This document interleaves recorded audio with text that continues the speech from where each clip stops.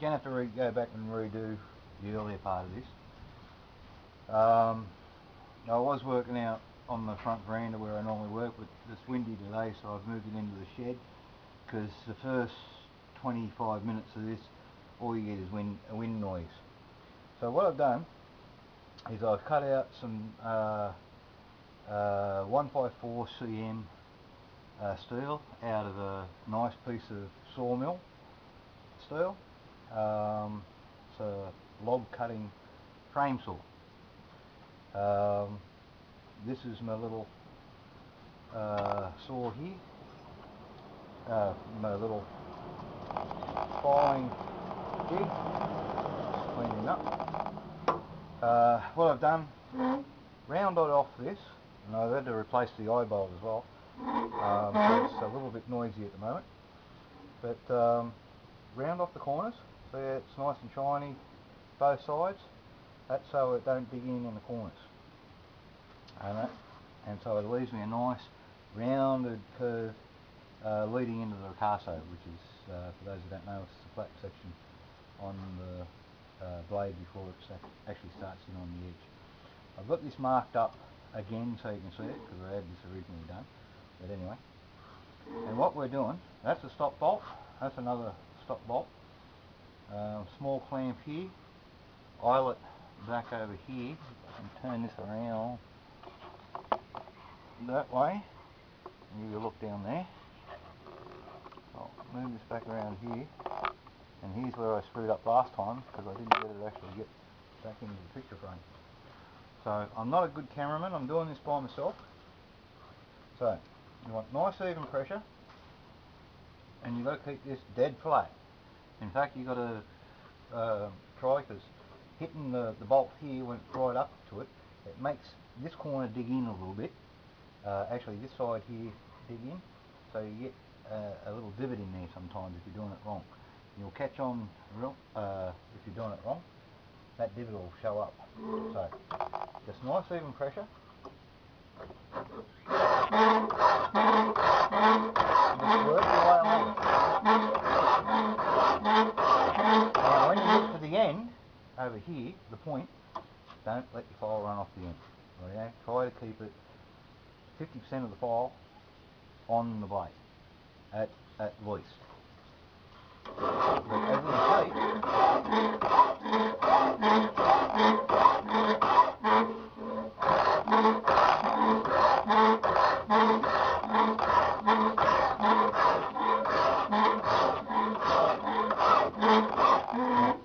people were saying, gee, that's going to take a bloody long time.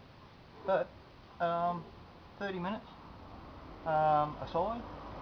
So doing this, uh, it's taken me 20 minutes with a hacksaw and two and two hacksaw blades because this is pretty uh, pretty tough stuff. Um, I've got a bloody good file though. Um, keep on cleaning your file, uh, clean them out regularly. If it fills up, you get these massive great score lines. I don't know if you can see it, but I've got a, a little bit in there. Um, but we keep on going.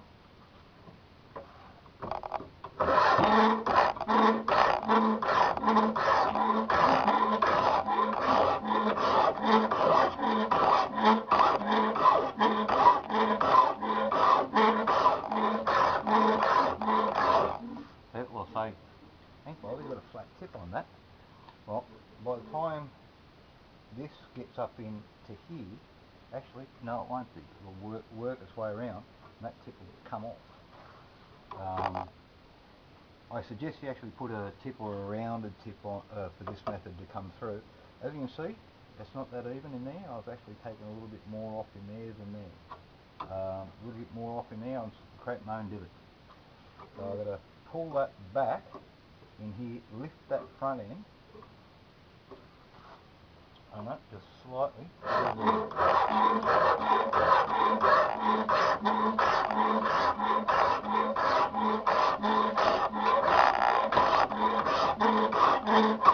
Now I skipped over that bit so I can get that length over. Now I've got this fairly even, maybe a little bit underdone just there. now, but um, really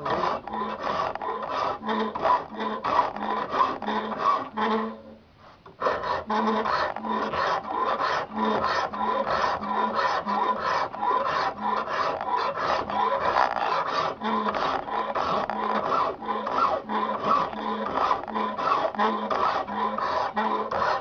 you can see, the bevel's starting to work its way back, getting higher and higher and higher. Alright, so a nice little balcony.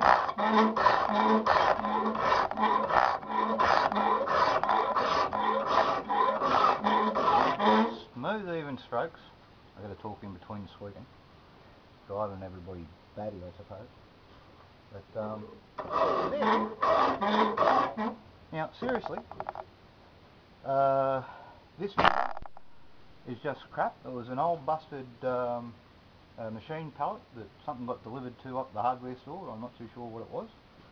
Um, leftover butts, uh, bolts, uh, nuts, um, screw that I've uh, squared off so it sits up here fairly flat. Um, I've drilled half a mil uh, smaller to allow for the thread. Um, I've got that with a couple of mil leeway, so I've got some um, half inch rod, uh, which is uh, 12.5 mil. That's a 14 mil eyelet eye bolt back here. Really some more oil on that. Um, silver bullet gun oil. Best gun oil you can get. Unbiased. USDA, US Department of Agriculture, approved pig fat. Absolutely wonderful stuff. But it's not going to help with this rough bar. But. Sounds like a jackass, doesn't it?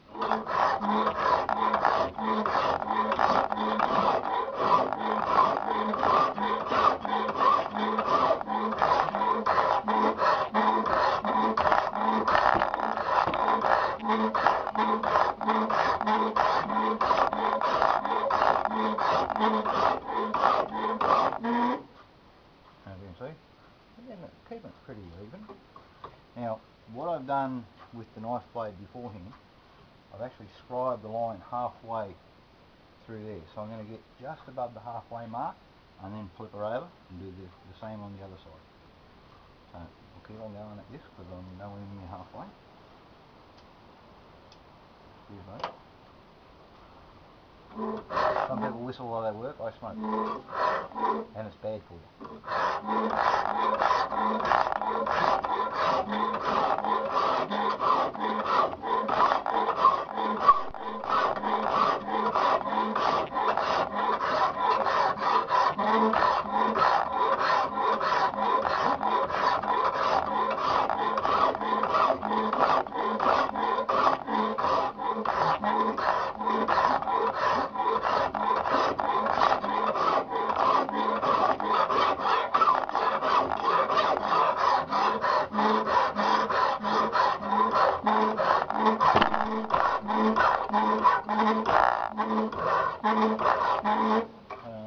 see that there. But we're actually forming quite a nice bite in there. Fairly even all the. Um, just to give you an example, I think I'm getting close here.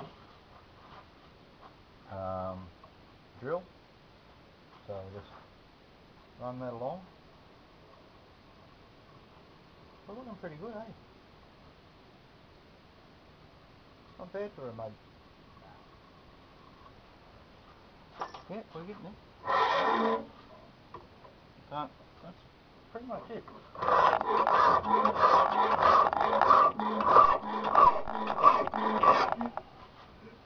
Now I'm going to clean off my file again because I'm starting to leave marks again. There's a couple of scourges there. There, so clean all that off. Clean up the work spot. Got to keep on, on clean, clean it up.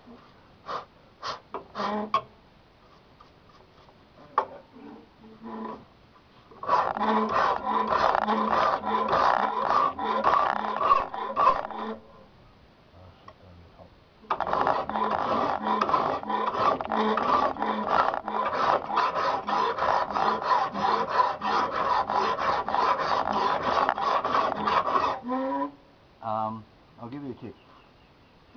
Only use a forward stroke until you get a bit of practice with using a file. Um, I'll tell you why. On the backstroke, um, drawing it back that way, um, you actually bite in, and I've got a little bit there, I don't know if you can see it, slightly raised up there. That's caused by a backstroke, um, drawing back and putting too much pressure on the back edge, this side here, um, which is a nat natural tendency for pretty much everybody to do it. Uh, and I'm not exempt either, so I do it. But uh, please do as I say, not as I do as I say. Uh, pretend I'm a politician. Nah, don't do that. Never be that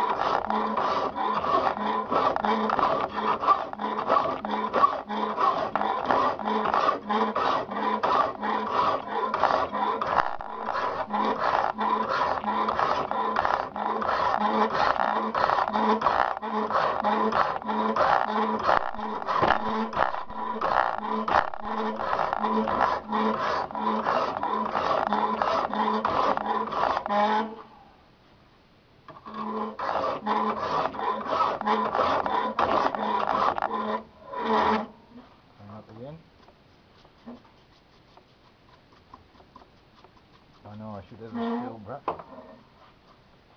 I just use an old cheapo used one that used, used to be for varnish, so it's actually quite stiff. Um,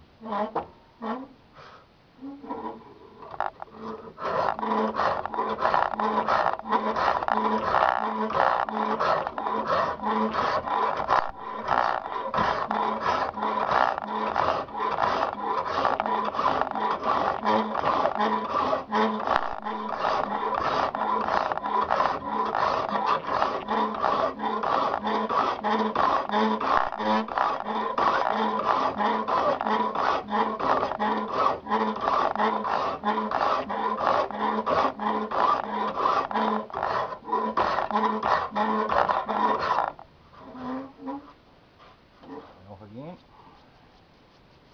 I'm starting to bite into the, the new boards. Normally I had that I made it an inch longer. Because I've actually made this um, to do 12 inch knives. Um, the reason why you use replaceable screws here, so you can get this board in and out, swap it over. I've got some offcuts outside. Um, here's a bit that uh, so I can actually do uh, a friend's uh, samurai sword. And uh, reason for that is he actually does use it. Um, uh, he's one of these reenactors, and um, yeah, they, they really whack the living daylights out of that sword, so it needs dressing up every now and again. Um, so I'm getting that one ready for that one.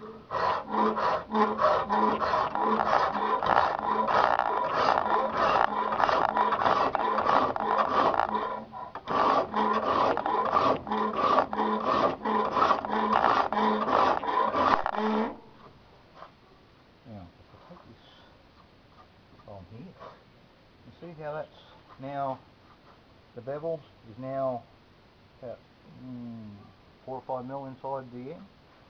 Um, you've got to watch out on that because you can actually overgrind that and make the end very, very, very uh, thin and you can actually grind it flat. Um, I'm going to post grind this down but I want more support up here. That's one of the reasons why I've got that here. It'll grind off here uh, a little bit, but I'm also going to drop that tip down there because this is going to be um, a, a, veggie knife um, for a nice chap. Um, made him a cleaver and uh, never clean the blade too much.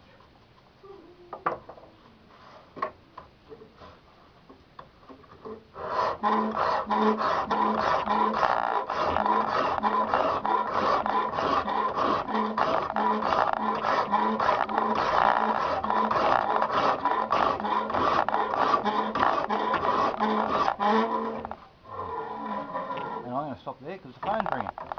Back in a sec.